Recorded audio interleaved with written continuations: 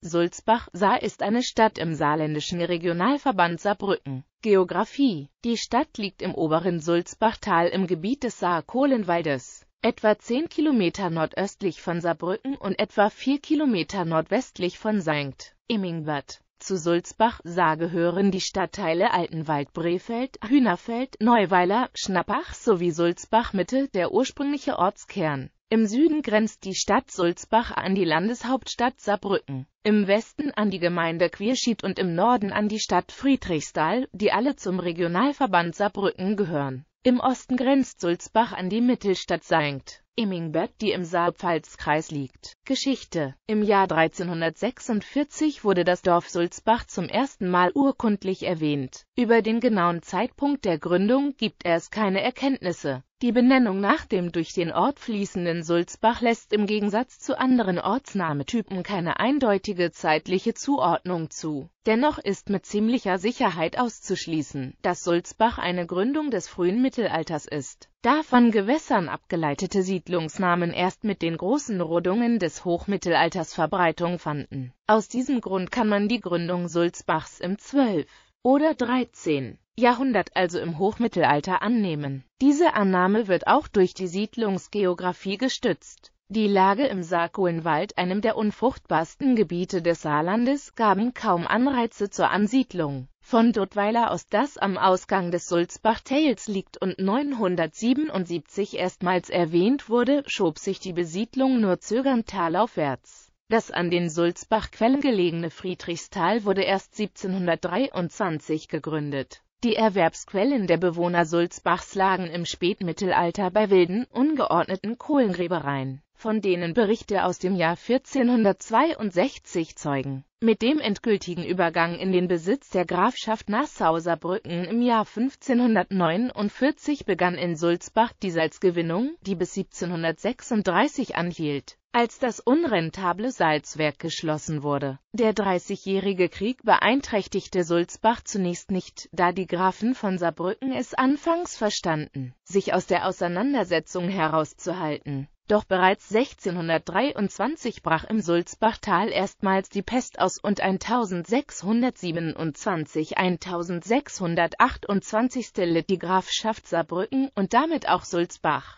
unter den hier einquartierten zügellosen kratzischen Truppen. Nachdem Saarbrücken ein Bündnis mit den Schweden eingegangen war, kam es 1635 zur Katastrophe, als die kroatische Soldateska des kaiserlichen Generalleutnants und Feldzeugmeisters Galas das Land verheerte und dabei auch das Dorf Sulzbach zugrunde ging. Nach einem Ende 1635 erstellten Bericht des Saarbrücker Rentmeisters Klicker gab es in Sulzbach nur noch zwei Einwohner. Es sollte 93 Jahre dauern, bis Sulzbach wieder neu entstand. Im Jahr 1728 begann die Wiederbesiedlung des Dorfes. Im Laufe des 18. Jahrhunderts wurde in Sulzbach mit der 1765 errichteten Eisenschmelze auf der Schmelz die Industrialisierung eingeleitet. Ab Mitte des 19. Jahrhunderts wurde für über 100 Jahre der Steinkohlebergbau die bedeutendste Erwerbsquelle in Sulzbach der durch den Bau der Eisenbahn im Jahr 1852 einen enormen Aufschwung nahm. Ein weiterer wichtiger Wirtschaftsfaktor im 19. Jahrhundert war auch die Glasindustrie. Von Beginn des 19. Jahrhunderts bis zum Jahr 1936 wurde in der Sulzbacher Blaufabrik das koch- und lichtfeste preußische oder Berliner Blau, das zum Einfärben von Stoffen verwandt wurde, produziert. 1866 erhielt Sulzbach eine selbstständige Gemeindeverwaltung und 1939 wurde eine Gemeindewappen verliehen. 1946 wurde Sulzbach zur Stadt erhoben. Im Zuge einer Gebiets- und Verwaltungsreform kam der St. Ingberter Stadtteil Schnappach mit Wirkung vom 1. Januar 1974 zur Stadt Sulzbach. Einwohnerentwicklung Politik Der Stadtrat der Stadt Sulzbach-Saar besteht aus 33 Mitgliedern. Er wurde von den Bürgern und Bürgerinnen der Stadt am 25. Mai 2014 bei einer Wahlbeteiligung von 44,0 Prozent und mit folgendem Ergebnis gewählt: Bürgermeister 1946 zu 1956 Fritz Schneider, 1956 zu 1966, Wolfgang Müller, 1967 zu 1977, Richard Bellon, 1977 zu 1982, Hans-Joachim Lissmann, 1982 zu 1992, Ulf Huppert, 1992 zu 2010, Hans-Werner Zimmer, seitdem 1. Oktober 2010, Michael Adam, bei der Stichwahl um das Amt des Bürgermeisters am 11.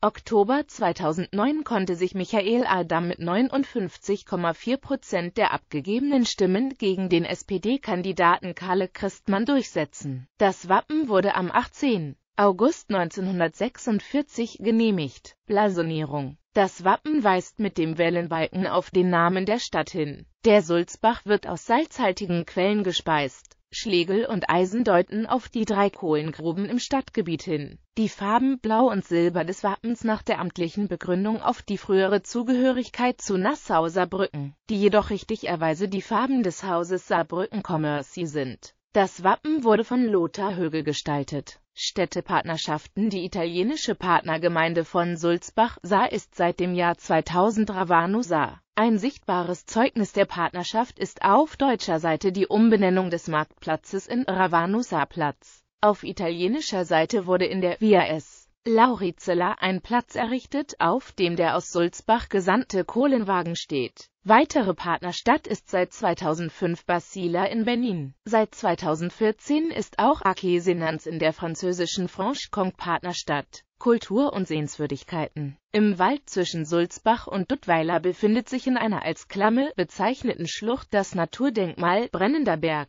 Nach der Überlieferung geriet hier in den 1660er Jahren ein tagesnahes Steinkohlenflöz in Brand. Johann Wolfgang von Goethe besuchte 1770 den Brennenden Berg, woran eine Gedenktafel erinnert. Im 10. Buch seiner Lebenserinnerungen Dichtung und Wahrheit schrieb er über diesen Besuch. Siehe auch Liste der Baudenkmäler in Sulzbach sah die historischen Salzhäuser auf der Schmelz, bestehend aus dem Salzbrunnenhaus und dem sogenannten Salzherrenhaus. Denkmalgeschützte Wohn- und Geschäftshäuser im Innenstadtbereich in der Sulzbachtalstraße. Die Z. T. restaurierten Häuser mit prachtvollen Fassaden verschiedener Stilrichtungen des Historismus wurden zwischen 1875 und 1910 erbaut das Rathaus in der Sulzbach-Talstraße besteht aus einem älteren, 1867 erbauten, zweigeschossigen spätklassizistischen Bau und einem 1903-1900 Viertel angefügten viergeschossigen Anbau im Neorenaissance-Stil mit reich gegliederter Sandsteinfassade. Das Amtsgericht in der Vopeliusstraße, dessen Fassade des 1913 errichteten Gebäudes sich an barocken Schlossbauten des 17. 18. Jahrhunderts orientiert. Die katholische Pfarrkirche aller Heiligen, die 1927 zu 1929 nach einem Entwurf des Trierer Architekten Peter Marx als tonnengewölbte Saalkirche mit mächtigen mehrgeschossigen Glockenturm in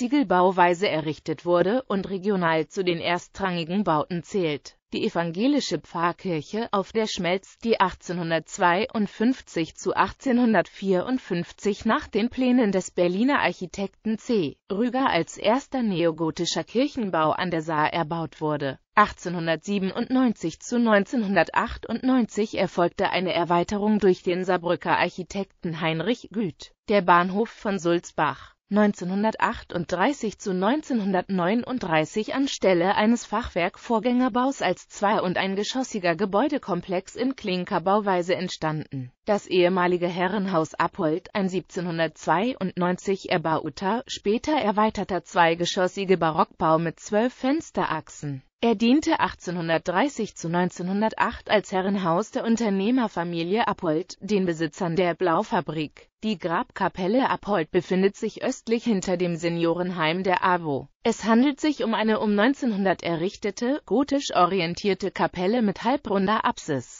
die als Grablege für die Sulzbacher Unternehmerfamilie Appold diente die evangelische Kirche im Ortsteil Altenwald, die 1891 zu 1893 im neoromanischen Stil als Bettsaal in Ziegelbauweise errichtet und 1894 um den Chor sowie 1896-1897 um den Kirchturm erweitert wurde die infolge von Grubensenkungen verursachte extreme Schiefstellung des Turmes führte zum Namen Schieferturm von Altenwald. Die katholische Pfarrkirche Herz Jesu im Ortsteil Altenwald, die 1910 Elftel nach dem Entwurf des Saarbrücker Architekten Moritz Gombert als dreischiffige Basilika mit dreiseitig polygonalem Chor erbaut wurde. Die katholische Pfarrkirche St. Marien im Ortsteil Hühnerfeld ist ein markanter roter Ziegelbau mit hell abgesetzten Putzflächen aus dem Jahr 1910. Die katholische Filialkirche St. Pius im Ortsteil Brefeld, die 1898-99 ursprünglich als Pferdestall der Kreuzgrabenschächte errichtet und Ende der 1950er Jahre zur Kirche umgebaut wurde von der evangelischen Kirche auf der Schmelz parallel zur Sulzbachtalstraße erstreckt sich in westlicher Richtung der 1960 ausgebaute Stadtpark. Er geht in seiner Entstehung auf die ausgedehnte Parkanlage der Villa Vopelius zurück. Wirtschaft und Infrastruktur Im ehemaligen Schlachthof wurde von der GIU Gesellschaft für Innovation und Unternehmensförderung mbH Gewerbefläche zur Verfügung gestellt Bedeutende Arbeitgeber sind unter anderem das Knappschaftskrankenhaus Sulzbach sowie die Hüdack-Gruppe, welche in Sulzbach ihren Sitz hat.